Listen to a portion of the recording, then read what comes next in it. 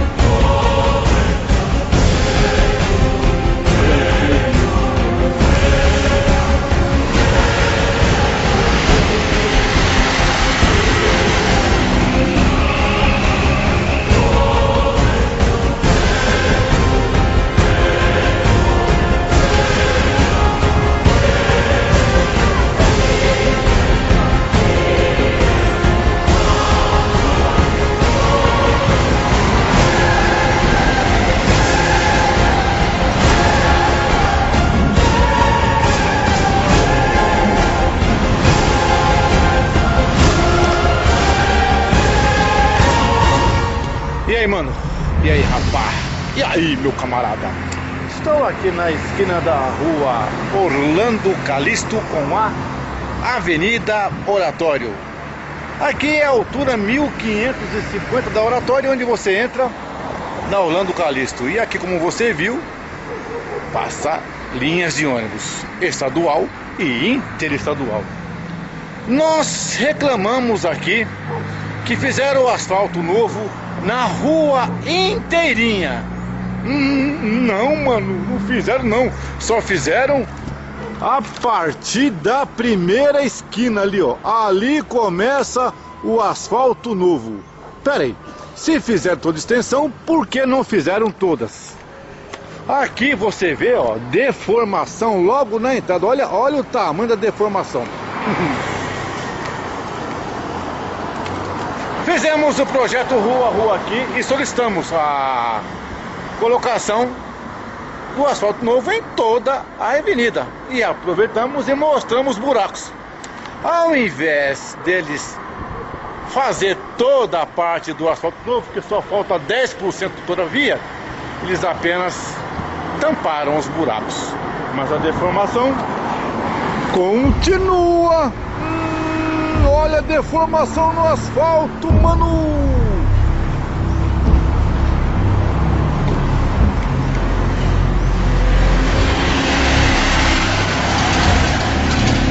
Deformação no asfalto. Aqui tinha um buraco, ó. Taparam. Uh. Veja que ali também tinha outro buraco. Mas olha só isso aqui, mano. Olha, rapaz, que coisa feia, hein? Olha só. Hum, mas taparam o buraco. Puxa. Aqui também taparam o buraco. Puxa.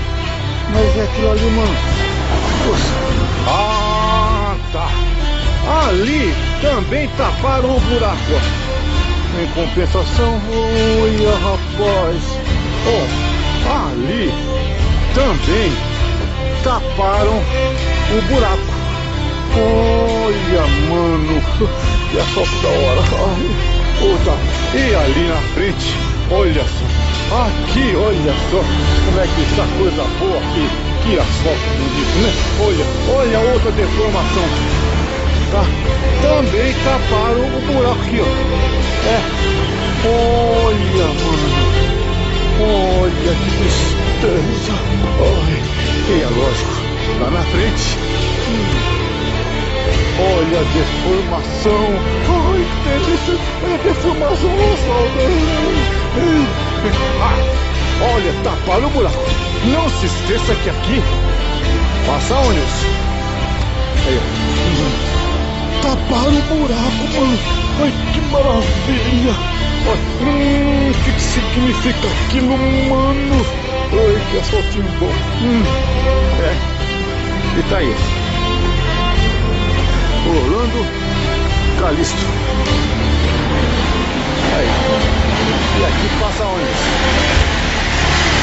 aqui passa ônibus. E não colocaram aqui a faixa de pedestre. Tá aí.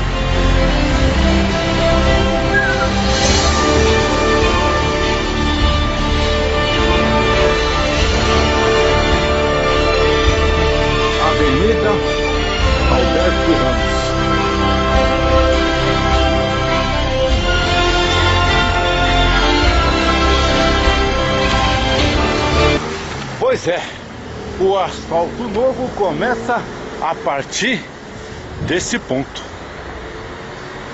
Yeah.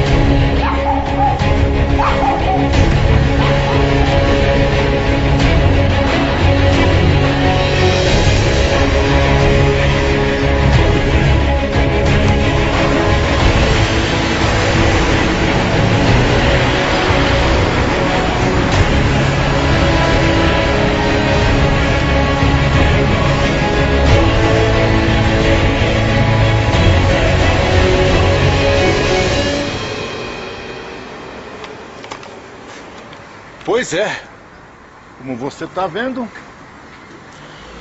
até aqui o asfalto é novo. A partir daqui, cheio de deformação, só taparam o buraco que nós solicitamos. Agora tem um detalhe, olha lá. Aqui tem um bloco de três apartamentos, de três prédios, um condomínio. Se nós colocarmos, que aqui são cada um pelo menos de 15 andares, se nós fazemos uma lição didática, que cada andar tenha quatro apartamentos, então nós teríamos quantos? 70 apartamentos por prédio. 210 nos três prédios. 210 famílias que pagam IPTU, que pagam imposto e que pagam o pato justamente aonde tem a maior arrecadação de IPTU, de dinheiro para a prefeitura, eles não colocaram aí o asfalto.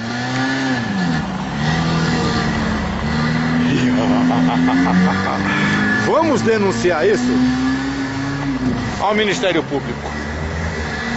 Se aqui tem asfalto novo, por que aqui tem deformação no asfalto? Apenas 10% da extensão não foi feito. Isso tem nome. Sacanagem, pilantragem, safadeza. E aquele pessoal daquele prédio, pelo menos 210 famílias estão pagando o pato, segurando o pepino e o abacaxi. E a prefeitura lucrando em cima de três prédios, só com IPTU. Ah! Na minha ótica, quem mora em apartamento não tem nada, porque mora num cubo de tijolo. Se o prédio cair, Desculpa, foi mal. Fato, retrato, registro. Vamos fazer a denúncia ao Ministério Público e solicitar que a subprefeitura e a prefeitura coloque o asfalto novo aqui. Já acionamos a subprefeitura de Vila Prudente. Já acionamos a prefeitura. Tapa buraco aonde colocou o asfalto novo. Tá de brincadeira. Cada vídeo é uma solicitação. Cada solicitação é um encaminhamento. Cada encaminhamento é um ofício disposto no blog Jardim Tietê News. Vá lá e verifique. Nós não brincamos, nós mostramos, levamos encaminhamento e promovemos cidadania. Cidadão, entenda de uma vez por todas: se você não fizer a sua parte,